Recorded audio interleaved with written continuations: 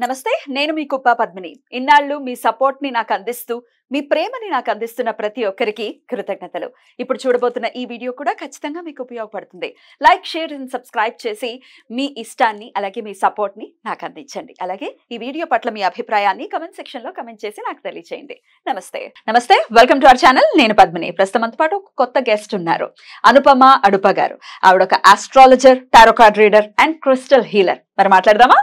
అనుపమ గారు నమస్తే అండి. నమస్తే పద్మిని. అనుపమ గారు సింహరాశి వారికి మరి గురువు యొక్క ట్రాన్సిట్ వల్ల వచ్చేటటువంటి ఫలితాలు ఒక్కసారి అటు ఆస్ట్రాలజీ ప్రకారం అలాగే టారో కార్డ్ రీడింగ్ ప్రకారం ఆల్రెడీ కొన్ని రాశుల గురించి మాట్లాడేసుకున్నాము. మరి సింహరాశి వారికి ఎట్లాంటి ఫలితాలను ఇవ్వబోతున్నారు గురువు? అలాగే ఎట్లాంటి రిజల్ట్స్ అంటే ఒకవేళ నెగటివ్ రిజల్ట్స్ ఉంటే కనుక ఎట్లాంటి పరిహారాలు చేసుకోవాలి? ఈ విషయాలన్నీ ఒక్కసారి మీ ద్వారా. షూర్ అండి. సింహరాశి వాళ్ళకి ఏంటి అంటే పంచమాధిపతి అష్టమాధిపతి గురువు గురువు గారు ఆ, ఈయన ఇప్పుడు దశమ స్థానంలోకి ట్రాన్సిట్ అన్నమాట Hmm.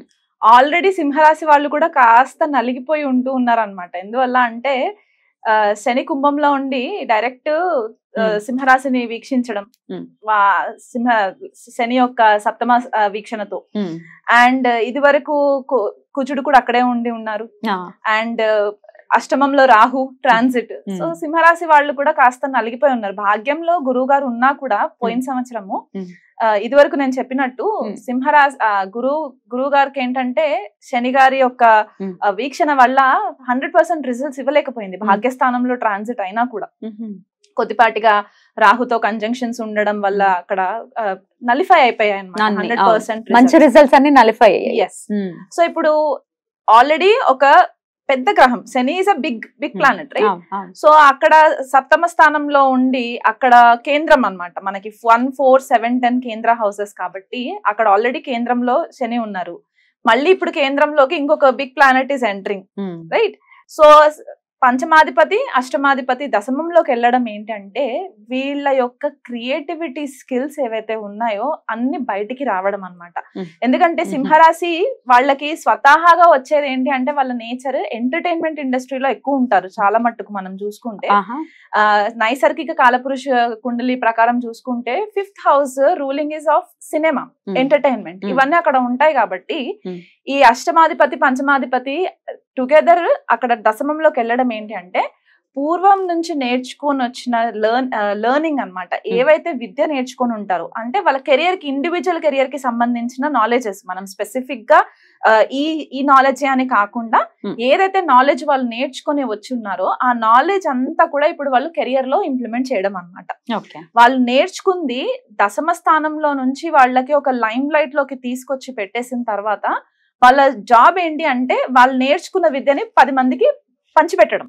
సో ఇక్కడ ఒక ఒక వైపు నుంచి శని ఒక పిల్లర్ లాగా ఇంకో వైపు గురువు ఇంకొక పిల్లర్ లాగా టుగెదర్ వీళ్ళకి ఏంటి అంటే ఇప్పటి వరకు ఏదైతే మూవ్మెంట్ లేకుండా ఉండిందో Hmm. సింహరాశి వాళ్ళు పాపం చాలా నలిగిపోయి ఉన్నారు చెప్పాలంటే Hmm. దాదాపు రెండు వేల పదిహేడు రెండు వేల పద్దెనిమిది టైం నుంచి కూడా వాళ్ళు కొద్దిగా కొద్దిగా. వాళ్ళకి ఏదో ఒక రకంగా ఏదో ఒక గ్రహం వాళ్ళకి సరిగ్గా అనుకూలంగా లేకపోవడము ఇలాంటి ట్రాన్సిట్స్ కొద్దిగా అనుకూలంగా లేకపోవడం this is the better opportunity అన్నమాట వాళ్ళకి రావడం సో ఈ లెర్నింగ్ అంతా కూడా వాళ్ళు కెరియర్ పైన ఎక్కువ మోటివేట్ చేయడము. అండ్ కెరియర్లో ఎవరైనా సరే లాంగ్ టర్మ్ నుంచి మూవ్మెంట్ కోసం ఏదైతే చూస్తూ ఉండిపోయి స్టాగ్నెంట్ అయిపోయాము జాబ్స్ దొరకట్లేదు మాకు జాబ్స్ రావట్లేదు అని ఎవరైతే అనుకుంటూ ఉన్నారో this is the right time. వాళ్ళకి Hmm. సింహరాశి వాళ్ళకి ఆ మూవ్మెంట్ రావడానికి అనమాట Hmm. ఈ వన్ ఇయర్ కూడా అంటే హండ్రెడ్ పర్సెంట్ పాజిటివ్గా ఉంటుంది అంటే కొద్దిపాటి డిస్టర్బెన్సెస్ ఇస్తుంది ఎందుకంటే మనకి నైసర్గిక కుండలి ప్రకారం చూసుకుంటే మకర రాశిలో టెన్త్ హౌస్ అవుతుంది కాబట్టి Hmm. గురువు అక్కడ నీచిపడుతూ ఉంటారు సో ఇక్కడ కూడా టెన్త్ హౌస్కి వచ్చేసరికి ఏంటంటే కొన్నిసార్లు వీళ్ళు అన్ఎథికల్గా ఏదైనా షార్ట్ కట్స్ యూజ్ చేసి కెరియర్లో. ప్రోగ్రెస్ అవ్వాలనే ఆలోచన ఏదైతే ఉంటుందో అది కొద్దిగా వాళ్ళు కట్ చేసేసుకొని. ఎథికల్ వేగా అంటే ధార్మికమైన పద్ధతిలో గనక వీళ్ళు ముందు అడుగు వేసి.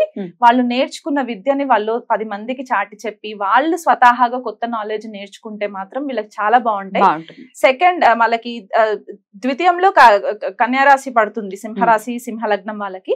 అండ్ మనకి ఫోర్త్లో కూడా మనకి అక్కడ ఆస్పెక్ట్ పడుతుంది గురువు గారిది ఎందుకంటే దశమం నుంచి ఫోర్త్ చూస్తూ ఉంటారు సో మదర్కి సంబంధించి అంటే సింహరాశి వాళ్ళ వాళ్ళ తల్లి గారికి సంబంధించి ఏవైనా ప్రాబ్లమ్స్ హెల్త్కి సంబంధించిన ప్రాబ్లమ్స్ ఉంటే గనక గురువు గారి బ్లెస్సింగ్స్ వల్ల మదర్కి కూడా రికవరీ ఉంటుంది. మే- ఏదైనా క్రోనిక్ హెల్త్ ఇష్యూస్ ఉన్నా మెడికల్ గైడెన్స్ కరెక్ట్గా దొరకకపోయినా ఇప్పుడు కరెక్ట్ టైం అన్నమాట. వీళ్ళకి కరెక్ట్ డాక్టర్స్ వీళ్ళకి అందుబాటులోకి వస్తారు కరెక్ట్ గైడెన్స్ వీళ్ళకి ఉంటుంది. వాక్ శుద్ధి పెరుగుతుంది వీళ్ళకి Hmm. స్పీచ్ ఆ వాణి. ఎందుకంటే కేతు సెకండ్ హౌస్లో ఉండేసరికి వీళ్ళకి ఇన్కమ్కి సంబంధించి కూడా కొద్దిగా క్రంచెస్ వచ్చేసాయి.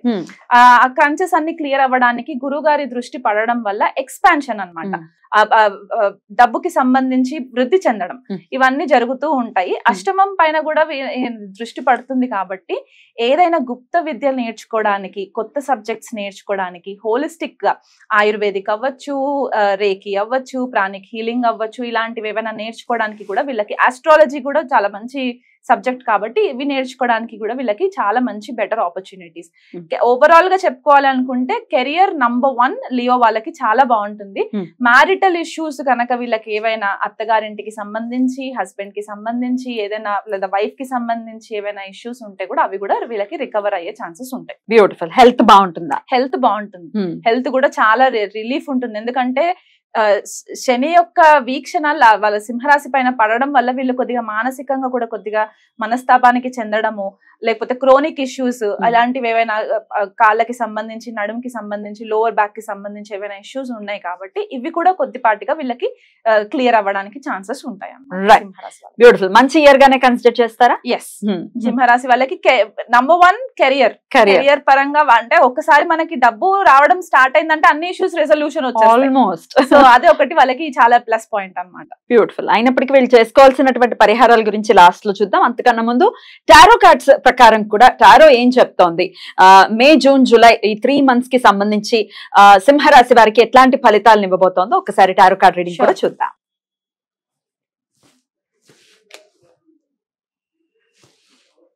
ఓకే. వీళ్ళకి ఏంటంటే ఇప్పటి వరకు ఏదైతే బ్యాలెన్స్ అంటే ఇప్పుడు కెరియర్ మనం ఎక్కువ చెప్పుకున్నాం కాబట్టి. ఇక్కడ కార్డ్స్ రావడం కూడా అట్లాగే వచ్చాయి టూ ఆఫ్ పెంటికల్స్ వచ్చింది which. Is career and financial stability. So ఈ ఫైనాన్షియల్ స్టెబిలిటీ కోసం ఏదైతే జగ్లింగ్ చేస్తూ ఉంటారో కెరియర్కి సంబంధించి వాళ్ళు కొద్దిపాటిగా బ్యాలెన్స్ చేసుకోవాలన్నమాట. Hmm. అంటే వీళ్ళకి ఇప్పటివరకు ఆపర్చునిటీస్ రాలేదు అని అనుకున్నారు. ఇప్పుడు అన్ని ఒకసారి ఆపర్చునిటీస్ వచ్చేస్తాయా?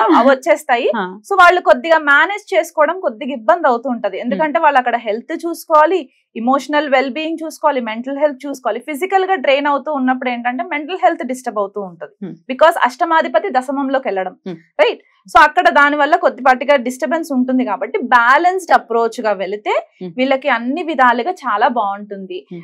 అండ్ ఇంకొకటి ఏంటి అంటే ఇది వరకు ఏదైతే స్టాగ్నెంట్గా మనం అనుకున్నామో ఆ స్టాగ్నెంట్ ఎనర్జీ అంతా కూడా మెల్లి మెల్లిగా క్లియర్ అవ్వడానికి వీళ్ళకి చాలా బెటర్ ఆపర్చునిటీస్ వస్తాయి ఇమోషనల్గా ఫుల్ఫిల్ అయ్యే ఆపర్చునిటీ అన్నమాట ఈ ఇయర్ మొత్తం కూడా ఇమోషనల్ ఫుల్ఫిల్మెంట్. బట్ ఓవరాల్గా చెప్పాలంటే బ్యాలెన్స్డ్ అప్రోచ్ బ్యాలెన్స్డ్గా ఉండాలి. జాగ్రత్తగా డీల్ చేయాల్సి ఉంటుంది. ఎందుకంటే ఆల్ ఆఫ్ అ సడన్ మార్పు వచ్చేస్తాం టూ థౌజండ్ సెవెంటీన్ నుంచి ఉన్న కాలం వేరు.